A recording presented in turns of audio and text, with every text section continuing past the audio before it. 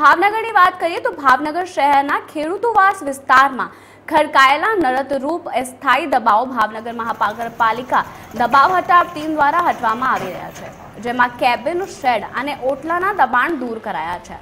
ભાવનગર મહાનગરપાલિકા દબાણ હટાવ સેલ દ્વારા આજે શહેરના આણંદનગર પાસે આવેલા ખેડૂતવાદ વિસ્તારમાં વીસથી વધુ દબાણ હટાવવામાં આવી રહ્યા છે. જેમાં કેબિન, શેડ અને ઓટલા તોડી પાડવામાં આવ્યા હતા અને દબાણ દૂર કરવા જેસીબી અને ક્રેન દ્વારા કાર્યવાહી કરવામાં આવી હતી. અને આ સમયે લોકોના ટોળા ઉમટ્યા હતા અને આમ વીસથી વધુ અસ્થાયી પ્રકારના દબાણ હટાવવામાં આવ્યા હતા.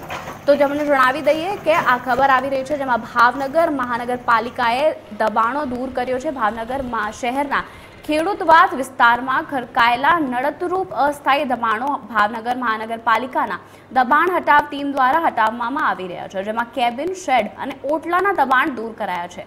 ભાવનગર મહાનગરપાલિકાના દબાણ હટાવ સેલ દ્વારા આજે શહેરના આણંદનગર પાસે આવેલા ખેડૂતવાસ વિસ્તારમાં વીસથી વધુ દબાણ હટાવ્યા છે અને જેમાં કેબિન શેડ અને ઓટલા તોડી પાડવામાં આવી રહ્યા છે. દબાણ દૂર કરવા માટે જેસીબી અને ક્રેન દ્વારા કાર્યવાહી પણ કરવામાં આવી હતી અને આ સમયે લોકોના ટોળા ઉમટ્યા હતા. અને આમ વીસથી વધુ અસ્થાયી પ્રકારના દબાણ હટાવવામાં આવી રહ્યા છે.